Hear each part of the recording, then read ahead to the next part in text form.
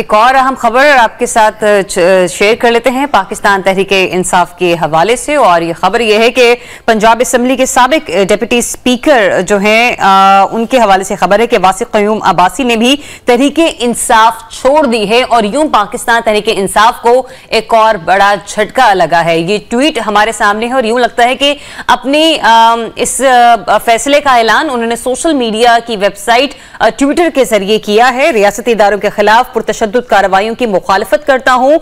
ये उनकी जानब से मौकफ जो है वो इख्तियार किया गया है, जिसके बाद उन्होंने पाकिस्तान तहरीक इंसाफ को खैर बात कह दिया है। पंजाब असम्बली के सबक डिप्टी स्पीकर वासिफ क्यूम अबासी ने भी अब तहरीक इंसाफ छोड़ दी है।